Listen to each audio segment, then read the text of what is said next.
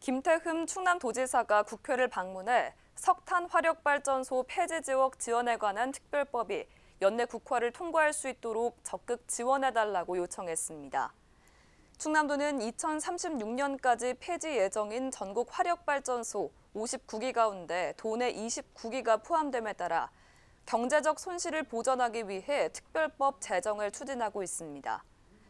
이어 김 지사는 석탄 화력발전소 폐지 지역 106만 주민과 5만 화력발전 근로자의 생존권 보호와 지역 소멸 위기 극복을 위해 연내 당론으로 의결해 줄 것을 요청했습니다.